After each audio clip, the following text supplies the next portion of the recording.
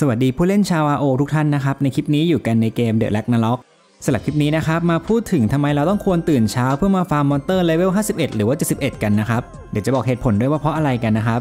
ถ้าพร้อมไปรับชมแล้วฝากกดไลค์กด Subscribe ด้วยนะครับ และสำหรับใครที่สนใจเติมเกมก็ขอฝากร้านเติมเกม Pay to Win Top Up ไปด้วยนะครับ เติมถูกกว่าเติมเองเติมผ่านเว็บไซต์ผ่านไลน์ผ่าน Facebook ได้ทุกแพลตฟอร์มเลยนะครับ ลิงก์เติมเกมอยู่ที่คำอธิบายใต้คลิปแล้วนะครับ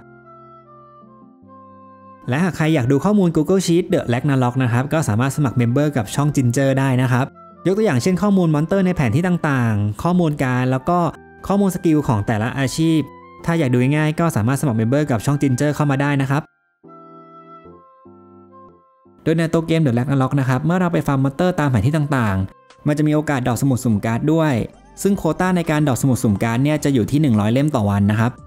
ทำให้ตัวละครเราสามารถหาการ์ดมาใช้งานได้ หรือว่าจะหาไปฝากอัลบั้มการ์ด หรือว่าจะหามาเพื่อฟิวชั่นการ์ดเป็นการ์ดที่สูงขึ้นก็ได้เช่นเดียวกันนะครับ โดยเจ้าตัวสมุดสุ่มการ์ดนี่จะมี tier ของมันด้วย ใครที่เล่นแต่วันแรกเนี่ยฟาร์มกับมอนเตอร์เวทต่ำๆก็จะ drop สมุดสุ่มการ์ดที่เป็น tier F เท่านั้นนะครับ ก็คือเมื่อเราเปิดสมุดสุ่มการ์ดใบนี้แล้วนะครับ จะได้การ์ด tier F เท่านั้น ตัวอย่างการ์ดเทียร์ F ก็อย่างเช่นการ์ดโพริ่งปูป้ากระต่ายขาว หรือว่าเซรั่มนะครับซึ่งเจ้าตัวสมุดสุ่มการ์ด F อัลบั้มอันนี้นะครับจะ drop จากมอนเตอร์ที่เลเวลไม่เกิน 50 หากเราไปฟาร์มมอนเตอร์เลเวล51 ขึ้นไปเนี่ยมันจะดรอปเป็นสมุดสุ่มการ์ดเทียร์ F ถึง E นะครับ โดยเมื่อเรากดใช้จะมีโอกาสสุ่มได้การ์ดเทียร์ E ด้วยแล้วก็การ์ดเทียร์ F ด้วยนะครับ ตัวอย่างการ์ดเทียร์ E ก็อย่างเช่นการ์ดร็อกเกอร์การ์ดหมาป่าฟ้า หรือว่าการ์ดหมาดำนะครับ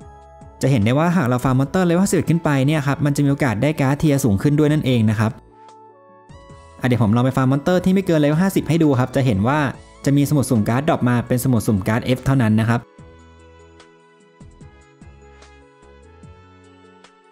แต่ถ้าหากเราไปฟาร์มมอนเตอร์เลเวล51 ขึ้นไปอย่างตัวมัมมี่ตัวนี้ซึ่งเลเวล55 นะครับ จะ drop เป็นสมุดสุ่มการ์ด tier F ถึง E นะครับ